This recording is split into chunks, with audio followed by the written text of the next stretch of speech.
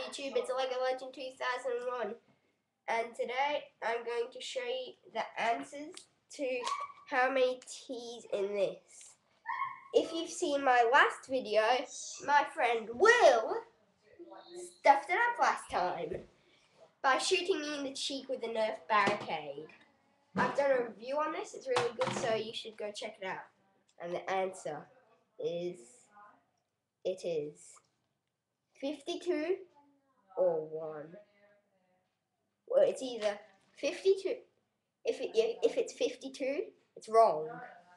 If it's 54, second, and if it's 1, that's right.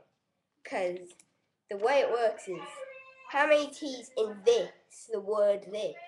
So that's 1. I'm sorry I stuffed it up.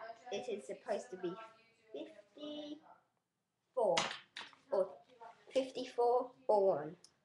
And that is the right answer. The right answers. 1 is the right answer, but 54 is still pretty good. So see ya.